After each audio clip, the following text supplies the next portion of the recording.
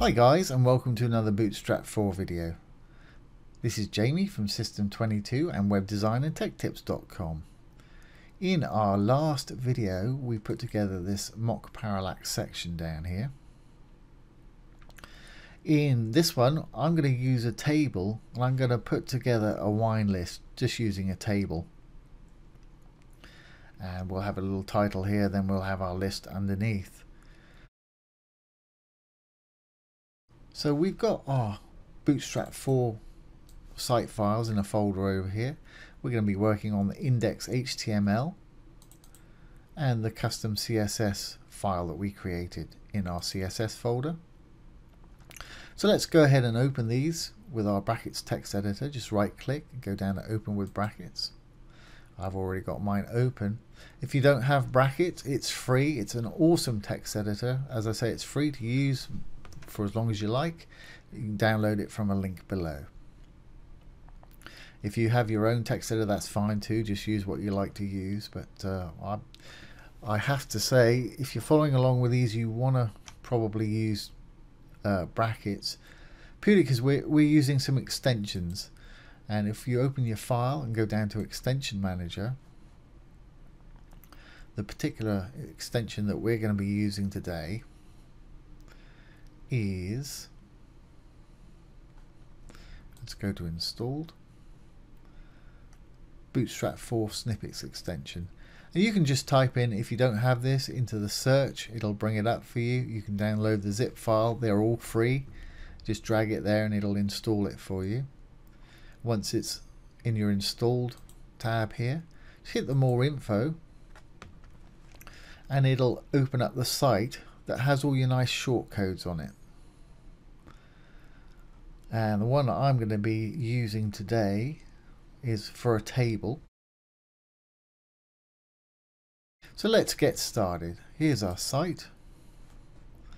And here I'm going to add a little title. Then I'm going to use a table underneath for displaying our list of wines that we have.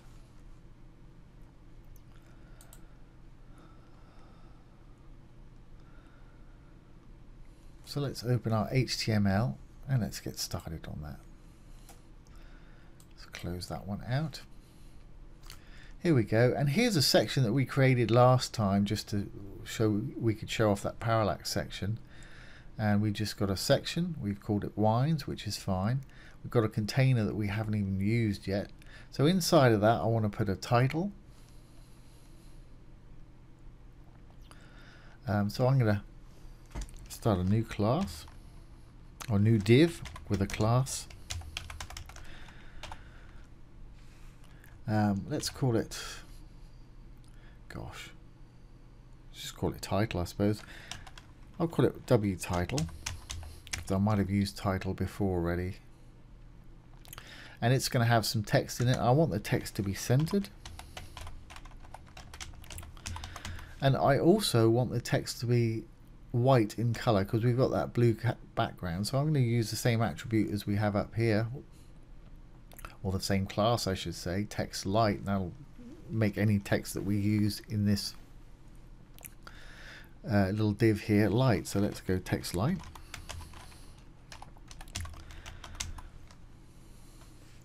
And let's close out that div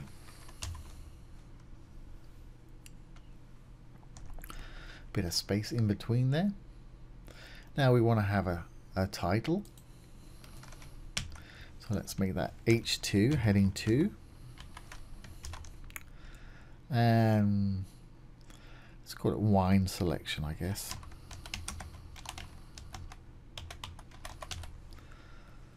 All right, and let's drop down one and have a little tagline underneath or a little bit of paragraph text. So P for paragraph text. And in between, let's write something about a wine. Something like complement your meal with some wine. Let's see.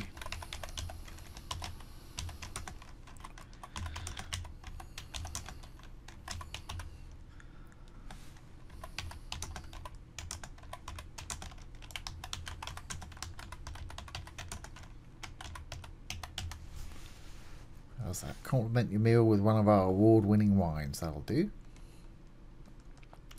So we've got a little section there.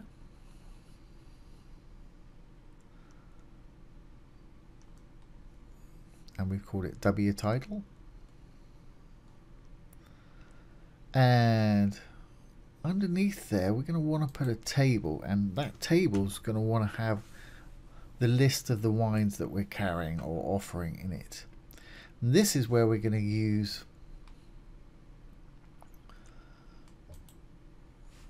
our little shortcodes that we were talking about earlier on. And uh, I think I'm just going to use that top one. Have have a play with these, type them in and take a look at them because they're great. They've got all different different types. I'm just going to use that one. Bootstrap 4 table hover. Uh, what that means, it'll be a table and when you hover over the actual elements on it, uh, they'll lighten up or darken down or highlight basically. So let's just type in that shortcode BS4 table hover. Back to our brackets here.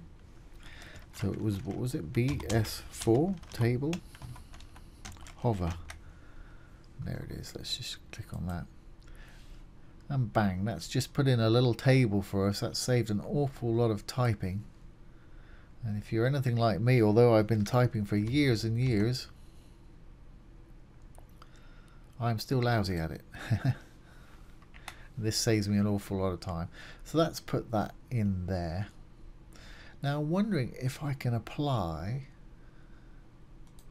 the class of text light to that and that should turn all this text light as well hopefully I've not tried this with a table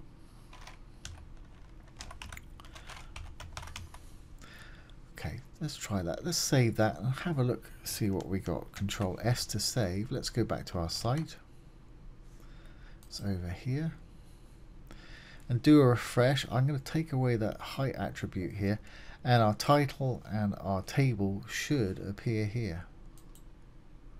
Yeah. And it did. It... Uh, see when I hover over one there, it just highlights it. That's the hover table hover part. That's fine. What we'll do we'll have our, our wine name there and uh, and a price here I guess. Maybe bottle glass. I don't know. I'll play with that in a minute. Just wondering why I've got a lot of padding going on here. Looks like that's taken on that attribute right there did I call it the same thing maybe I did Let's have a look. Let's go back to our. So I've called this wine title. Oh yeah, I've used the same class, so it's it's taken. Uh, uh, it's taken the CSS from here and applied it to here, which if we go to our custom CSS, there's the W title, it's giving it a padding of 150, 20 pixels, and it's made it bold which doesn't look too bad, but that's not really what I want at the moment. Well, let's take another look. Yeah, I think that's just too much. Too much space for this particular section. That works fine there. I think that's too much. So let's give it a different class. Uh, I'll call it WLT for wine list title. How's that? How's that sound? Okay. Let's save that, Control S. Now when we go back that should not be bold. We should have less padding at the top here. We'll probably have to add a bit more to get it how we want it. There we go. Um, that's what I expected to see just now. So what I need to do is I'm going to add a bit of padding just to this section here so it pushes that down a bit. and I'll add a little bit of padding to this so there's a space between the two. So let's let, let's do that. So this is our section. Here's our first div our WLT and there's our table section. So let's go to our CSS and from last time we had the attribute of height 700 pixels because we wanted to demonstrate the parallax section so we can get rid of that let's lose that. But what I will give it, I'll give it some padding, top and bottom, left and right, let's give it say uh,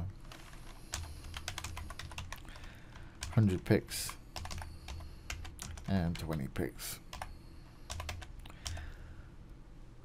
That way the section will have a bit of padding top and bottom. Let's save that and I'll just demonstrate.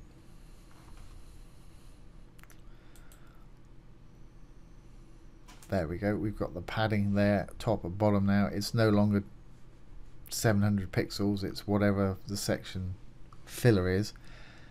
And this particular bit here, I'll probably want to put a bit of a padding on the bottom just so it pushes the the list down a little bit more.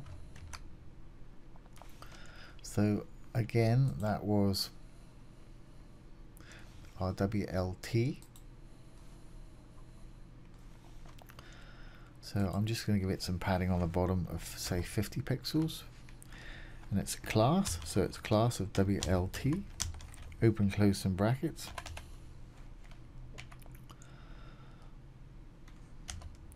And padding bottom. What I say? 50 pixels? That should probably do it. Maybe a bit much. We'll see. Save that. Let's go back and refresh. Yeah, that's about right. That's about right. This just gives it a bit of separation between our title and our actual list here. So now let's start adding items to our list. I might decide to get rid of that footer. That's not list items, that's just a re repeated title at the bottom there. So let's have a think what I want to do here I think what I'm going to do is I'll do the wine name here and then I'll put the price by the glass and the price by the bottle there. So let's go into our index.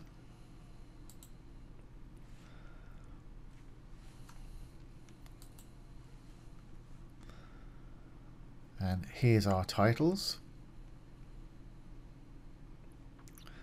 So I'm going to put Just put wine there. Second one, I'm going to put glass. And third one, I'm going to put bottle. So if you want to purchase a glass, you've got glass there. If you want to purchase bottle, we'll put bottle there. And let's see if we can't put in the name of one here. And let's give it a price. Say nine dollars a glass. It's a nice wine. And perhaps it's usually four or five times the price. So let's say $35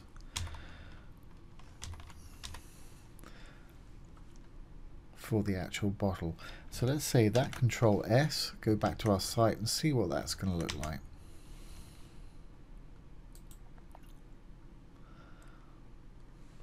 There we go.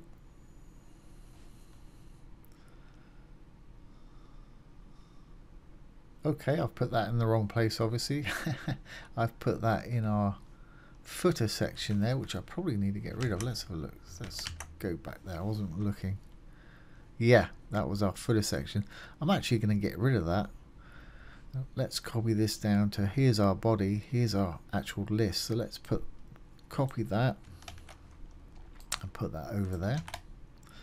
And I'm going to get rid of that footer section. See, table, foot, footer. I really don't need it.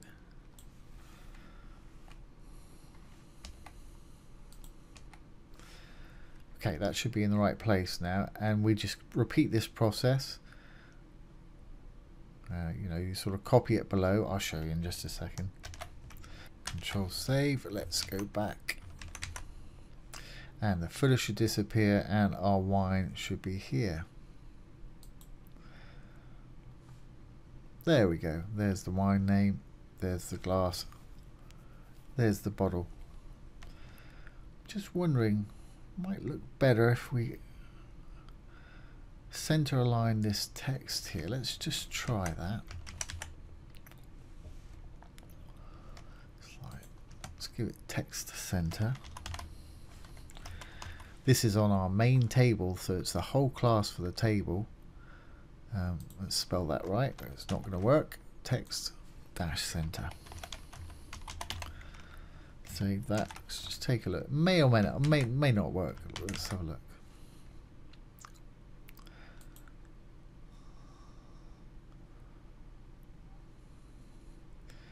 Yeah, that's really not done what I wanted it to do. So let's put that back as it was. Let's leave that. I think that was better actually left aligned. Save as we were. Refresh and that should go back over to the left there. Okay, and I'm going to pause now and just populate that. There's no point you watching me just copying and pasting. And all I'm going to do is we've got another section here so I'll populate that exactly the same as the first one. Then I'm gonna take it control C to copy drop down to add another row etc etc so I'm gonna pause and I'm just gonna populate that a little bit. There we go. I've populated that with some wines now. So let's save that. Go back to our site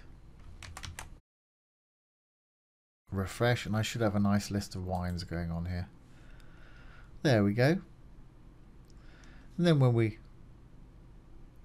put our mouse over each one it highlights it for us.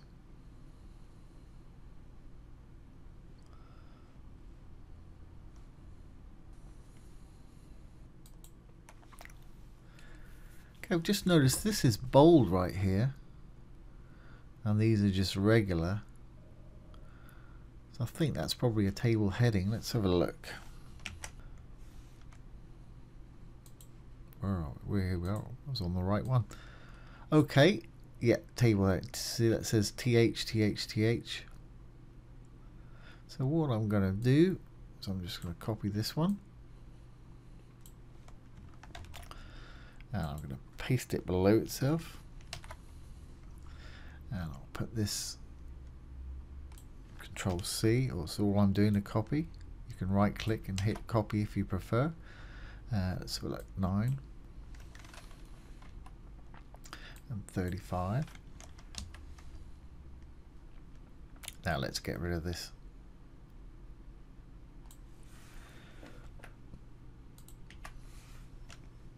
Save that back to the site. There we go. They're all the same there. There's our little list of wines, price per glass and price per bottle. Okay, so let's, why don't we add it to our Bootstrap menu here. And we'll have it after the menu and before the contact.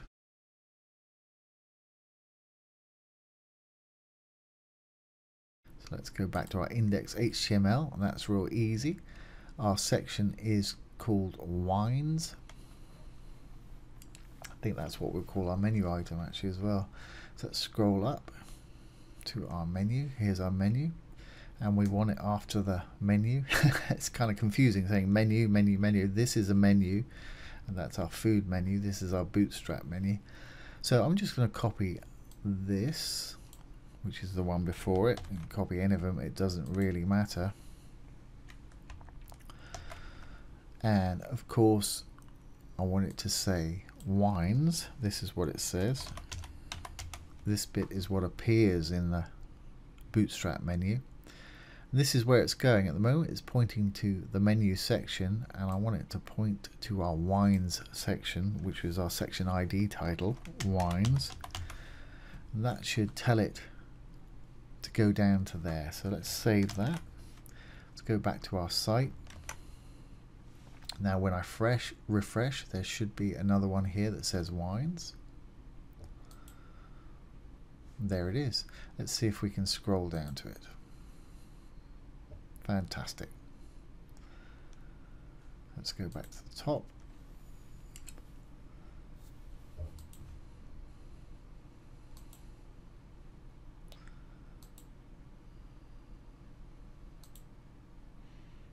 Okay, that's working nicely. So there you have it. There's how to use a table with Bootstrap 4. I hope you found that useful.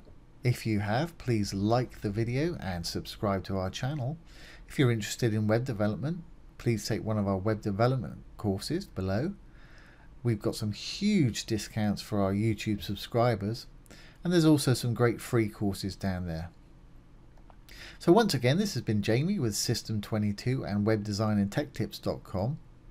Thanks for watching. Have a great day.